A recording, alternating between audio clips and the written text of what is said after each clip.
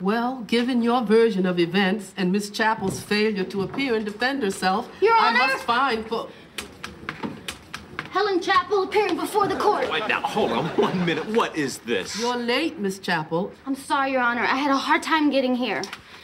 I'm not used to these crutches. Oh, who do you think you're fooling with this act? Quiet, Mr. Hackett. My apologies. Thank the you. court was unaware of your condition. Oh, what condition, Your Honor? She has pulled this kind of thing before. She's a known scam artist. Shame on you, Helen Chappel.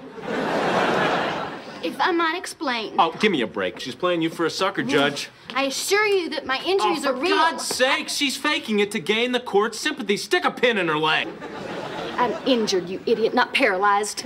Yeah, sure you are. Make her dance. See if she'll dance under oath. Mr. Hackett! Your Honor, I can barely stand. As a matter of fact, I'm feeling a little lightheaded. Would you be more comfortable sitting down? Yes, I would. Thank you. No, wait, wait, hold on one second. You're not buying this, are you? Wait a second. If it please the court, may I present Exhibit A and Exhibit B? That will be Come enough! on, get up, get up, let's go, stand up. I rest my case. Hey, Joe, Joe, what are you doing here? Well, uh, Helen said she's going to be a little late. She called from the emergency room. Apparently, she fell down the front steps, banged herself up pretty bad. Oh, God, Helen, I am so sorry. I had no idea. Touch me.